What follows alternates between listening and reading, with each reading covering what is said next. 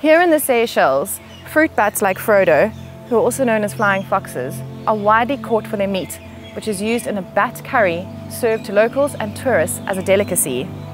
In order to catch these little creatures, hunters string nets and traps up in trees, and if the animal isn't killed outright, hunters beat them to death with sticks.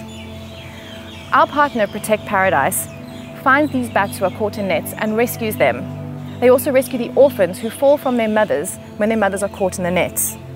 They rehabilitate them, treat them for any injuries they might have, and then release them back into the environment into safe protected areas where hunters are not able to find them.